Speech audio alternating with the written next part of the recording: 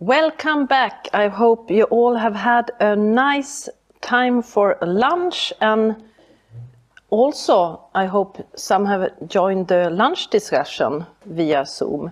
Uh, now we are gonna finish the day with the last presentation.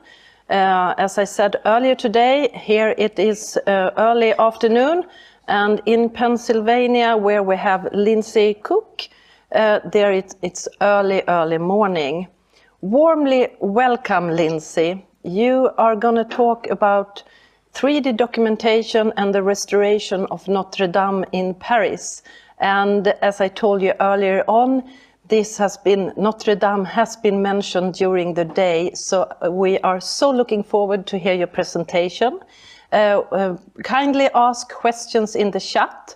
We will have a few minutes after your presentations to take questions, but I know you have an early meeting also today, so we're going to finish at uh, 1.15 today, so you can manage to get to your, uh, to your other meeting.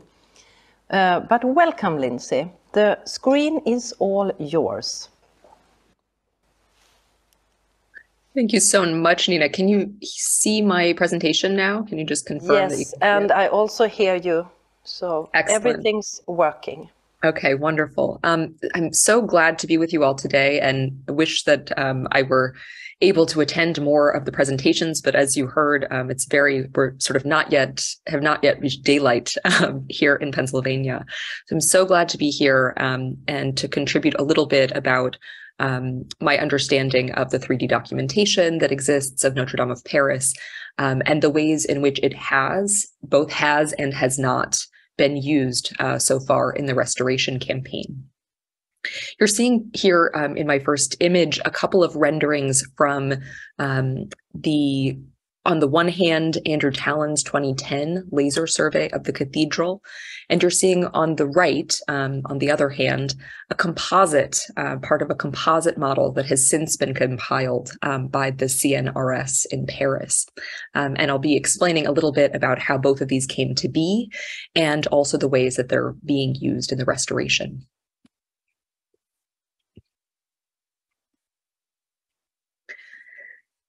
You're seeing here an image, um, not only an image before taken before the Notre Dame of Paris fire, where we have a sense for the silhouette of the building, um, which is, I think, only recently and since the fire comes so much into focus, where we understand, for example, how important the roof line is in understanding the image of Notre Dame and even experiencing the cathedral throughout the city of Paris. Um, in my most recent trip to Paris, I was thinking about this. I was there for the pretty much the whole summer and was considering all of the places from which you used to be able to see, um, you know, sort of get a glimpse of the roof.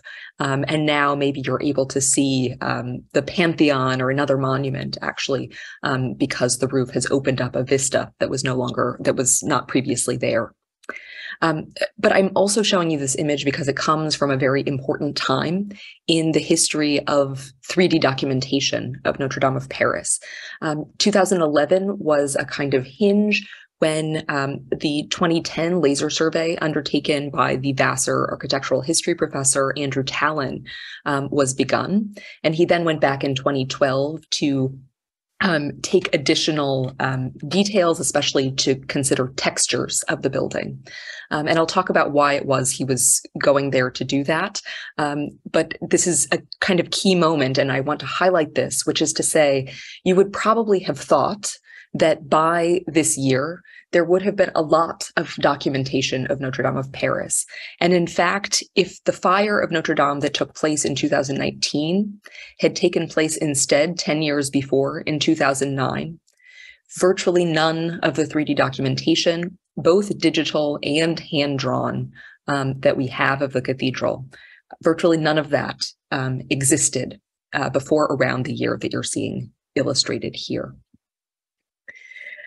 I'm assuming, especially if Notre Dame has been evoked earlier in the day, um, that you're all aware of what happened on April 15th, 2019. Um, and I'm using these particular images, especially the aerial view down below, and a close up of some of the roof trusses of the nave as they're collapsing uh, during the fire, just to highlight the fact that while the fire was largely you know destructive in many ways and um, also challenged the structure and there was concern uh, particularly about collapse, um, not only in the days and weeks after the fire, but really for a couple of years. There was sort of a lingering concern on the site uh, that there could still be some kind of collapse. But most of the stonework, most of the vaults um, remained intact and have proven to be structurally sound for the most part, um, with some minor exceptions, you know, holes um, in one of the nave vaults, for example, and of course, famously, um, the crossing vaults of the um, of the nave and choir, where uh, or nave and transept rather, where the spire fell through and crashed through that stone vault. But above all, the thing that was destroyed and, and needs then to be repaired in one way or another is the timber roof, which dated to the 13th century for the most part, um, as well as the 19th century spire that had been added uh, by Viollet-le-Duc. In the immediate aftermath of the fire, um, this was the state of the building. And this is also when questions began to emerge about what kind of documentation existed of the Cathedral of Paris. At this point, um, in time, I was a visiting professor um, at Vassar College, where I had previously been an undergraduate student um, studying under the direction of the man you see here, Andrew Tallon. And um, we had worked together on various projects. But of course, I, as an undergraduate at the time and, and someone starting my graduate education, and he um, really as an early career researcher i want to highlight that that this was one of the one of the first things he did um, in his career really as an architectural historian specifically was to think about um, laser scanning and 3d documentation it was at the forefront um, of his mind you're seeing him here um, uh, along you can you probably recognize where he is but underneath the um, along the parapet around the choir of notre dame so where he's underneath the the flying buttresses. And this is a notable uh, place for him to be standing his favorite part of the building and also the reason frankly that led him to um, want to create a laser survey of notre dame of paris. It had to do entirely with studying the structure of notre dame and especially its flying buttresses but the survey was not limited, that was begun in 2010, as I said, and completed in 2012. It did not, it was not just limited to the masonry structure, as you can see um, from the Leica scanner that you see in the in the left foreground. Um, there was attention paid really to the most of the building. The idea was to create a, a comprehensive scan of Notre Dame of Paris. Oops going to try to show you just a little bit of video. I know it won't work so well. Might be a delay. Just to bring you there um, to the year 2012, when the sort of finishing touches were were uh, put onto the scan, and what resulted, of course, is a point cloud, and you're seeing a rendering from that um, from that point cloud now.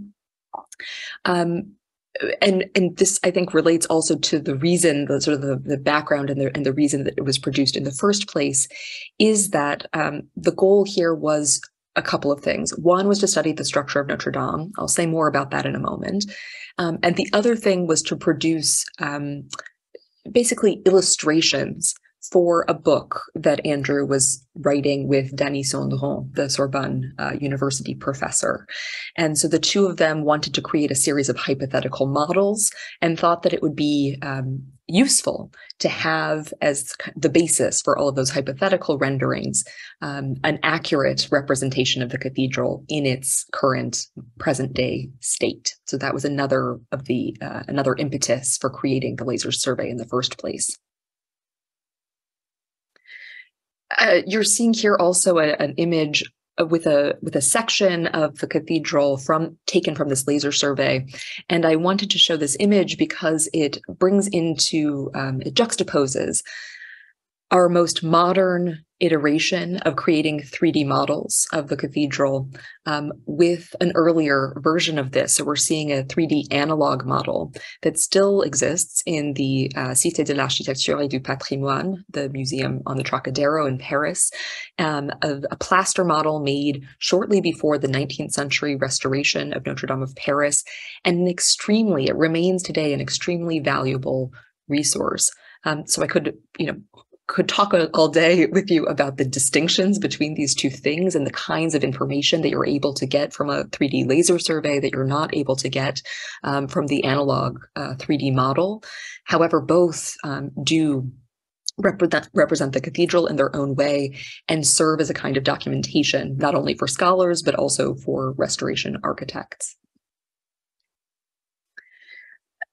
Just briefly, um, this would have been the kind of image that Andrew Tallon was most interested in. Part of the reason that he was most interested in creating the survey for his own research had to do with, as I said, studying the structure of Notre Dame. What he realized was that in creating laser surveys, you were often able to detect um, cases where buildings had always had flying buttresses versus buildings that added flying buttresses, where the architects added flying buttresses later because of structural problems the building was suffering from. And so he was hoping to discover at Notre Dame that the choir in particular had always had flying buttresses, and specifically that it probably had single span flying buttresses, not unlike the ones that we now see there uh, today. Those buttresses, of course, were changed and transformed in the 19th century. And so there was long a question about how old they were, the originals were, um, and whether they had been there from the very earliest iteration of the cathedral. In creating this laser scan, he thought that he demonstrated that, um, that you would expect to see sort of deformation in the vaults if uh, the buttresses had been added after the fact in response to structural problems. So this is ultimately the main reason um, that we have the 2010 laser survey that has become so important for Notre Dame. The other goal of this 2010 survey was to create what um, Andrew Tallon liked to consider the first accurate plan of Notre Dame of Paris. Um, and so you're seeing here, for example, a rendering from the laser survey that shows us highlights, especially the high vaults of the cathedral.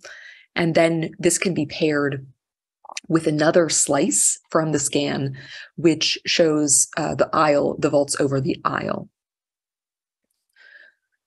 Those two renderings um, and other details were combined in order to produce this plan, um, which is the one that is published in Dany Sandron and Andrew Tallon's book, which first appeared in French in 2013 and was republished uh, shortly after the Notre Dame fire, um, and which long had been uh, destined to have an English translation.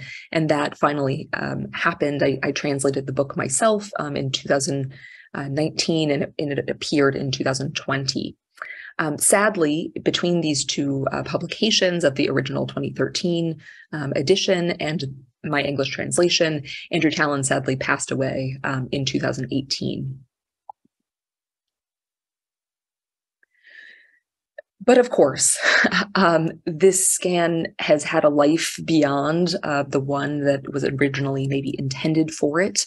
Um, of course, the scan was um, shared with the architect of the cathedral at the time when, when Andrew Tallon made it, which was the previous architect en chef, Benjamin Mouton after that, I'm not exactly sure. I, I can't really recall whether it, it sort of remained um, in the architect's custody uh, from one architect to the other, but um, it, a, a, very important step was made where um, Andrew Tallon's widow donated the um, the scan to the cathedral after the fire to make sure that it was there uh, for their use.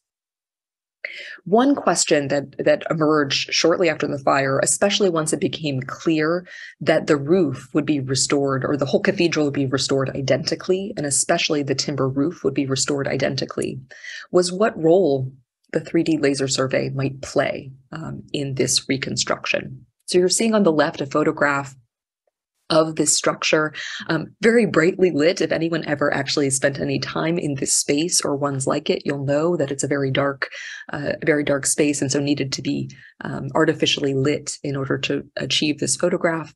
and have a very long exposure. And then you see, of course, the, the state after the fire. So a lot to do here, clearly.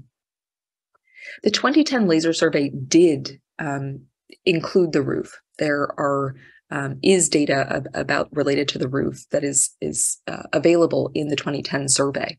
But as you can see, especially in the rendering on the right, it had a lot of gaps. There were a lot of lacunae in this 2010 laser survey, especially when it came to the roof. As I mentioned, if the goal was to produce an accurate plan and to think about the sort of masonry structure of Notre Dame, the roof really was not the top priority. Um, and I, I, highlight this point just to make it clear that this was never intended mostly as a kind of um, as documentation, frankly, in the sense that cultural heritage professionals would think of think of it. Um, and so this is why we notice, especially these gaps overall, you can uh, get a sense from the this sort of overall view of the laser survey that there are you know more than a few gaps in fact um, in this survey especially if you look um, at the north tower you'll notice additional uh, holes um, in the survey. Luckily however um, Andrew Tallon's survey was not the only one that was produced before the fire.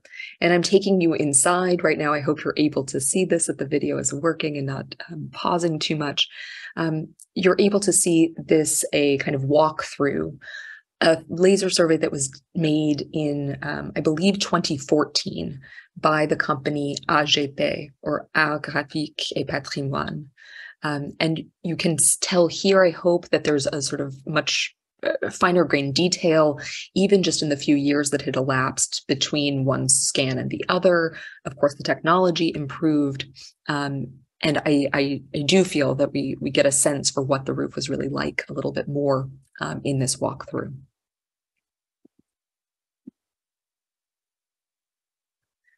The French um, National Center for Scientific Research, after the fire, made attempts to pull together together all different kinds of laser and uh, photogrammetric and photographic data um, to put it all together into something that is, as I've said before, sort of more than the sum of its parts.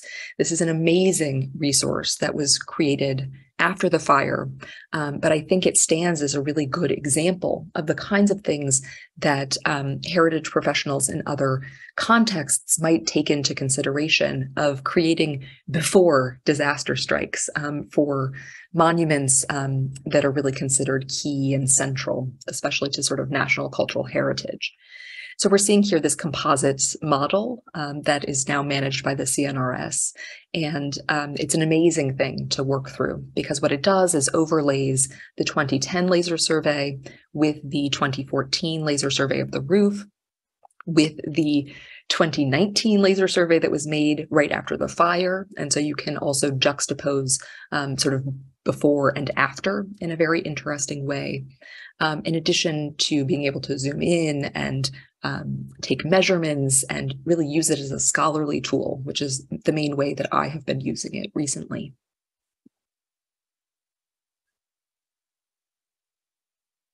The question then becomes, would it be possible or um, would it be possible to sort of restore the roof thanks to this laser survey? And is that indeed what the architects are doing? And I can answer both of those questions.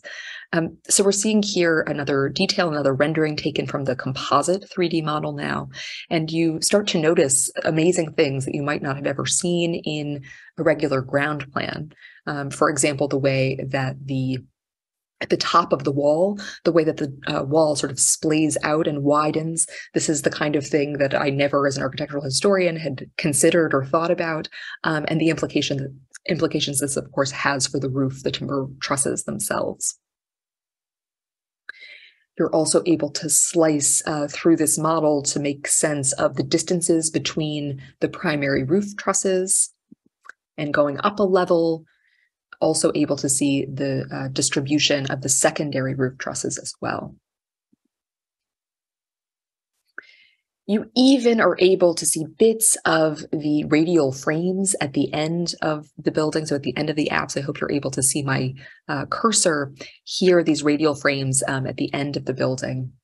Although I would say that those, there are even holes and gaps in the 2014 laser survey. So this was a case where, again, um, the goal could not have possibly been to make sure every single um, centimeter of the cathedral was captured for the kind of catastrophic event that ultimately did actually unfold. So there are still some gaps in this survey. You're also able to get a sense for the space um, in a very interesting way and can take measurements, of course. If you know what you're looking for, you can take a slice from the model and you're able to measure whatever you need. However, the second question, which is Are the architects using the model um, in the restoration of Notre Dame of Paris?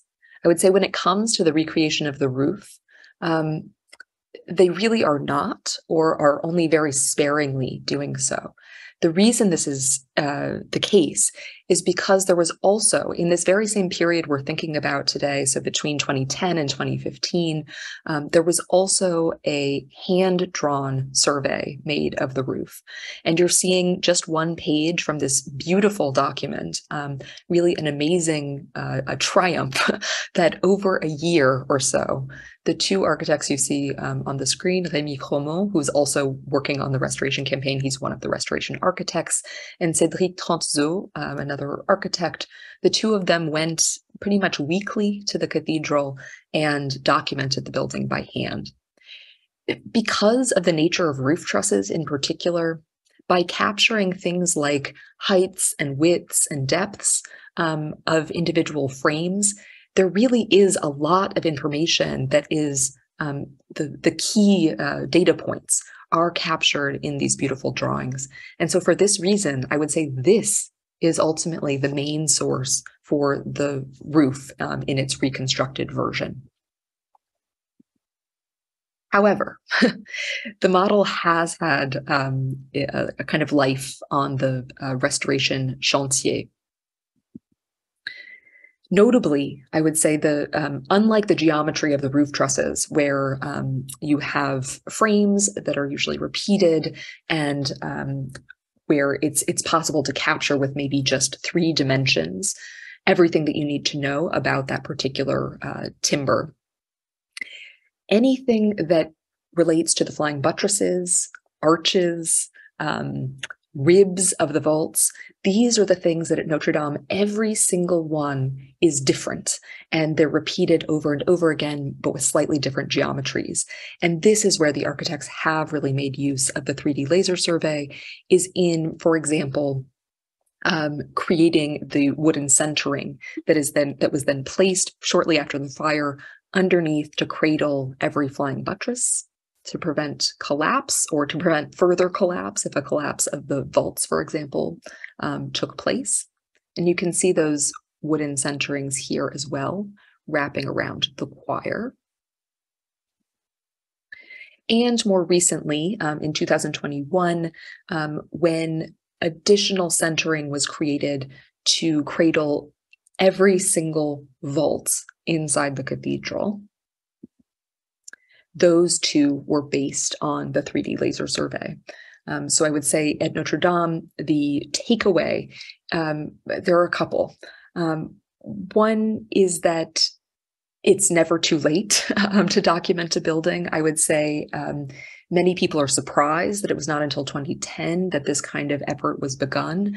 And it really isn't until 2015 that all of the data collected that's necessary for restoring the cathedral identically existed. Um, so it's never too late, to do so. But also, um, I would say the other takeaway is not to overlook obvious monuments. Um, I know, for example, when Rémi Fromont um, and his colleague Cédric Trentesaux went to um, Notre Dame of Paris, they were shocked to learn from the architect at the time that there was not yet a hand-drawn survey of the roof things like that. Um, I think the same really applies with 3D um, digital documentation as well. is that um, you you can't assume that you know no matter how central and important a monument seems that it has been documented. Um, I would also say a little bit of catastrophic thinking is important in the sense that there are some gaps, as we saw in in the documentation, that if the thought from the get go had been to document a heritage object so that it could be replicated if necessary, um, that might have led to fuller, more complete results. I think I'll pause there so that I and, and am happy to take any questions so that we have um, enough time for them. that was very, very interesting. Uh, and also the thing, like the documentation that it was made with another purpose, but it actually has helped in the restoration. So I have a colleague here, Karin, that's checking the chat. Do we have any questions there? No. Uh, I have a question because I have listened a little bit through YouTube and other media on other presentations you made, mm -hmm. and you uh, have. Uh, could you please tell talk, uh, tell us a little bit more about uh, the discussions that's been regarding replacing the 19th century spire that was collapsed totally by the fire, mm -hmm. and the decisions that were made about the restoration of the spire? Yes. So, I mean, there was a question, I suppose, initially from from the outside, it appeared that there was a question initially about how to restore the cathedral. I would say the more that I have gotten to um, to know what really was happening on the site among the stakeholders who have the most say ordinarily in these kinds of matters. Um, I really don't think there was ever so much of a question. So this became a kind of political um, you know, by Macron suggesting that there would be an international architectural competition, this really threw a wrench into things. Um, and as I, I've definitely said before, I mean, I think if something like that had happened, it would have been very interesting, but it also would have been really without precedent um, in these kind in in cultural heritage in France, um, and be given France's long history of um, even just the profession of you know uh, architects of historic monuments they have a particular charge and that is usually to preserve the building as it is. And that also includes for the most part especially if you have the resources available to you um, rebuilding in the case of you know war conflict disaster. Um, and so i i would say that the people who were the least surprised about the outcome are the ones are architectural historians who have studied these kinds of buildings and i think anyone in the cultural heritage service themselves um, who saw mm. the you know the writing was on the wall all along. I think the question about the 19th century spire that did present itself. Um, basically was the 19th century spire um, protected in quite the same way as let's say the 13th century roof um, and ultimately, it is. I mean, if you look at its listing, it absolutely is. And not only is the building listed, but also um, the its surroundings and its landscape. And so um, it, it would have been possible for something else to happen if the president had decided to override uh, precedent, but it would have been very surprising um, hmm. If if if there had been any other outcome. Quite honestly, in this particular context, in this particular place and time. It's, uh, I think the cathedral and other cathedrals, are, they are interesting since they are so much uh, built in different periods. It's like it's not a church that is built at a certain time, but it's like also that your documentation is showing that it's added on structures and architecture during time and the last, I think that, but you can correct me, that the Spire was like the last edition. And, and the question is, when is a cultural heritage, when is it completed? Uh, uh, or are we, should we actually continue to add on to the cathedral? Uh, I, I know that that's a discussion that's always made when you do these documentations or when something is lost and you are going to recreate it? Are you going to do it with traditional uh, craftsmanship? Are you going to do it with new material? So, was did you have any of that discussion? Do you know anything about that regarding Notre Dame? So the discuss the material discussion, particularly. Yeah. Yes, I mean um, that's a case too where I think if the resources hadn't been there or something, maybe a different decision could have been made. But the reality is because of the kind of outpouring of support, especially from the super wealthy in in France itself. Um, it, it, wasn't a question. It really wasn't a question, um, and it had as much of as anything else to do with structure. Um, and so the architect's thought was, we know that this building stood for you know nearly 900 years yeah. with the timber structure on top of it, including the spire. Um, that's what we're going to do again. So I, th- I think um, seeing that as a really conservative decision too is, is fair. Um, the fact of hand, there is going to be some hand finishing and dressing, and that's that's a different kind of decision that's being made. Um, and it's amazing frankly to see i you know i think that uh, at the very beginning i wasn't so sure what i thought of that. Um, and the more i've gotten to know some of the carpenters who are um, either involved in this process or um, who want to be involved in this process, I, I, have come to appreciate what that brings to the table and how much that sort of re-energizes the building and puts back this kind of embodied work um, into the structure. Um, and so I, I am warming up to the idea as, okay. as time goes on.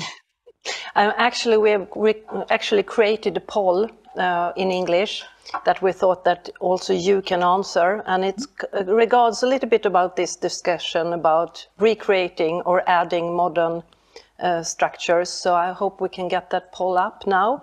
It's regarding the spire. If you were the one making the decision on the rebuilding of Notre Dame and the spire, you have one option to choose. Would you order a complete copy? Would you create a new modern spire? Or would you actually order two spires? And just interesting to, to see. Do you want to share what you voted, Lindsay? I said I wanted to see both. um, and it's interesting. There are little details. You know, I know, for example, the um, rooster that had been placed on the top of the spire, which you know was uh, flung uh, far afield from the building and yeah. was recovered. It was in such bad shape that they've decided the architect has designed a new rooster for the top of the spire. So for all this talk of how how exactly the same it's going to be, there will be these little touches if you know where cool. to look. Yeah, so we will have some of our time actually added into Notre Dame. Exactly. Oh, that's fantastic. Uh, thank you very much, Lindsay, for your presentation and for being with us your early morning. It was a pleasure having you. And uh, thank you very much. With that, you, I know you have more meetings to attend. I'm looking forward to, to see and hear of you again. But for now on, thank you very much. Thank you all. And I would also just say if anyone has any further questions, um, feel, don't hesitate to reach out to me by email. I'm happy to happy to get in touch after the fact. Thanks, yes. Nina.